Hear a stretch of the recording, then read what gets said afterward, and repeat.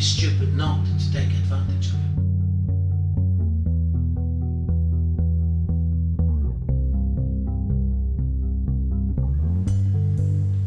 They've been subjected to this kind of thing their whole lives. No. I see your point. But it would have to start as soon as possible. It's a miracle the excitement about these children hasn't already worn off. Like I say, it's not like there's going to be a lockout. They'll be experiencing life to the max. Won't be a big deal.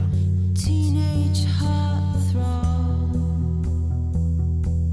'Cause it won't melt this urn of ashes. So it's decided?